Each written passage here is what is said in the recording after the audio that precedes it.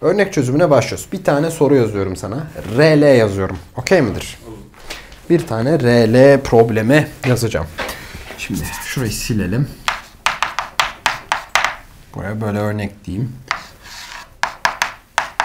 Ben çizerken aynı anda sen de çiz ki vakit kaybetmeyelim.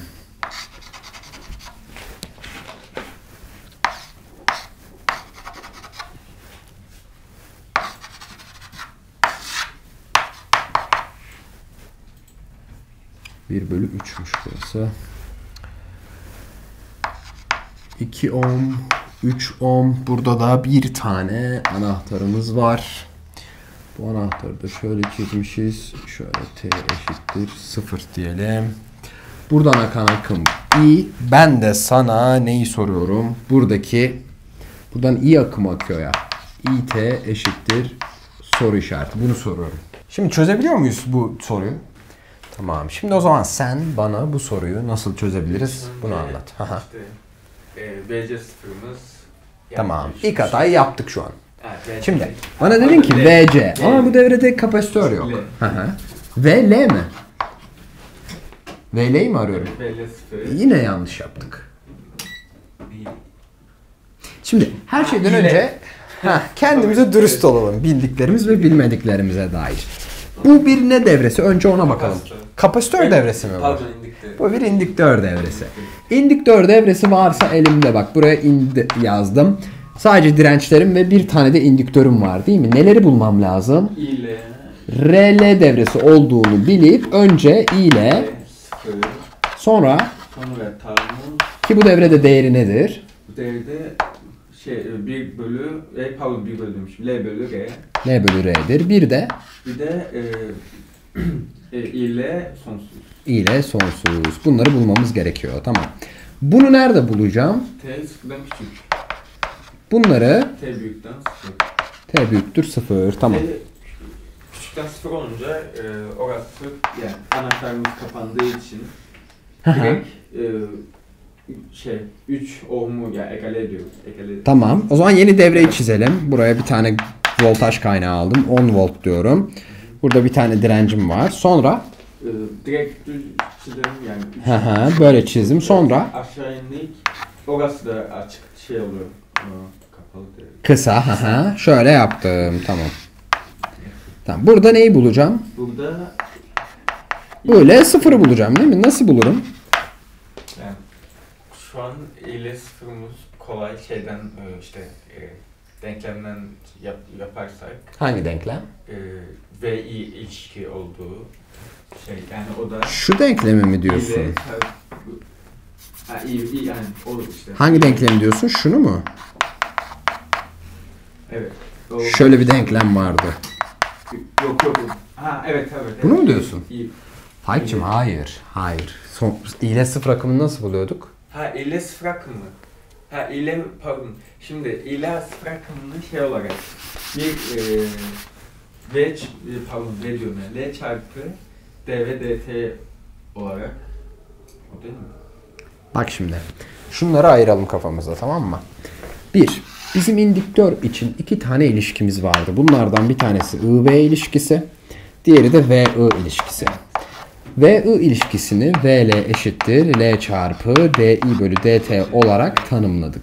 Bunu da aşağıdaki denklemde her iki tarafın integralini alarak şu şekilde tanımladık. 1 bölü L.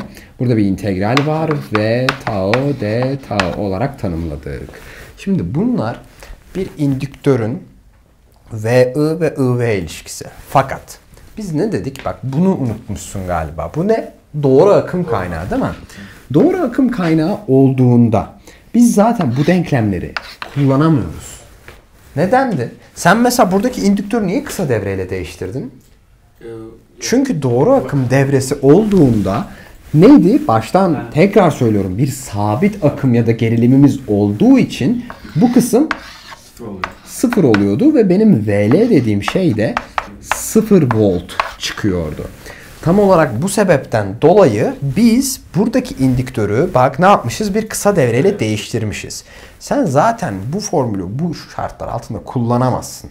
Çünkü sen az önce dedin ki şu formülü kullanalım. Tamam kullanalım. I, L'yi bulmak için değil mi?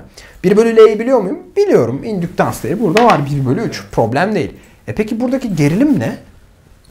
Sıfır. Yok. E nasıl bulacağım? Bulamam. Şunu yapıyorduk hatırlıyor musun? Bak şimdi bunu şöyle düşünebiliriz. Ben sana diyorum ki işte bir kapasitörün üzerinden ya da kapasitör de değil çok günlük hayat örneği olsun. Sana diyorum ki işte bir kilo sütün fiyatını bulabilmek için bir tane formül veriyorum tamam mı? Adı da bir kilo süt formülü. Böyle yazdım. Bir kilo süt formülü de sütü nereden elde ediyoruz biz? Peynirden falan değil mi? Hatta peynir sütten elde ediyoruz. Öyle bir saçmalık oldu. O yüzden buraya bir kilo peynir formülü diyorum. Sana geliyorum diyorum ki işte sütü al diyorum. İşte sütün litresini git bilmem kaçla çarp sonra bilmem ne bir şeyler. Sana böyle bir formül veriyorum. Daha sonra sana gelip diyorum ki 2 kilo peynir aldım 10 lira ödedim. 1 kilo peynirin fiyatı kaçtır? 2 kilo peynir kadar 5. 5'tir değil mi? Ben sana bunu vermişim burada tamam mı? Demişim ki burada 2 kilo peynir aldım 10 lira ödedim. Beş. 1 kilo peynir 5 liradır. Sen bunu söyleyeceksin ama sen bana diyorsun ki Hayır ben öyle hesaplamak istemiyorum. 1 kilo peynir için işte şu kadar süt tüketilmeli. Bu kadar sütten işte şu kadar. Buna gerek yok. Burada var zaten. Anladın mı? Yani buradan geçen akımı bulmak için senin çok basit bir burada analiz yapman lazım. Ne burada indüktörden geçen akım? 5. 5 amper değil mi? Evet. Şu an oturdu mu kafana? Bu formülü kullanmamıza gerek var mıymış? Yok. Burası 5 amper değil mi? Okey miyiz bu noktaya kadar? Evet. Ciddi okeyiz değil mi? T büyüktür 0 için ne yapacağım? İşte tespitın büyük olunca orası e, şey oluyor. At- e, Orası işte yukarı, Şurası? Evet, yukarı olduğu için Hı hı. Açılıyor değil mi? Evet. Açık devre oluyor. Açık devre. Olursa bu ne olacak? Orası e, yani şey normal devam edecek. Ha, aynen öyle. Normal devam edecek. Yani şöyle çizebilir miyim? Bak buraya 10 voltluk kaynağımı çizdim. şey olduğu için 2 ohm, 3 ohm. Buradaki indüktörü ne yapacağım? o şey Yine kısa devre yapacağım değil mi? Neden? Çünkü yine doğru akım devresindeyim zaten. Buraya 2 ohm dedim. Buraya da 3 ohm dedim. Burada 5 10 volt burası. Aynen buraya direkt burayı şöyle alıp buraya 5 ohm da diyebilirsin. Buradan akan akım ne olmuş olur? 2 amper olmuş olur. Ben de bu akıma I, L sonsuz eşittir 2 amper diyebilir miyim? Diyebilirim değil mi? Süper. E bunu buldum, bunu buldum. Buraya tik attım, buraya tik attım. Geriye ne kaldı? Tau kaldı değil mi? Buraya Tau diyorum. Tau hesabını bana söyleyebilir misin mesela? Tau Evet. hesabı hakkında. Ee, yani şey Tau hesabı için bir soru soracağım. Bu devreye mi bakıyoruz, bu devreye mi? Şey T büyüklük 0. Bu devreye değil mi? Burada L değerim Yani- nedir? L değerimiz 1 bölü 3. 1 bölü üç. Böleceğiz. Bir, e, Bölü 5 diyeceğiz. 1 bölü 15. 15. Tamam. O zaman genel denklemini yazabilir miyiz? Şu an indüktörden akan akımın. Onu da nasıl yazarız? Şuraya yazalım mı? Şimdi e, i i sıfır i son pardon i sonsuz artı i sıfır eksi i sonsuz Hı hı. çarpı e üzeri Hı hı. e, eks, eksi Hı hı. T bölü eksi T bölü tau değil mi? E zaten bu da eksi T bölü 1 bölü 15 olacağı için 15. eksi 15 T diyebilirim değil mi? E üzeri eksi 15 T. Denklem buymuş. E burada da yerine koyarsam cevabı bulurum. Şurada koyalım. L, T dedim. Sonsuzda 2'ymiş. Daha sonrasında 0 değeri 5'miş. 2 artı 3 çarpı E üzeri eksi 15 T olarak yazalım. 3 çarpı E üzeri eksi 15 T. Anlaşıldı mı? Tamam gayet iyi. Bir problem var mı? Yok. Yok değil mi?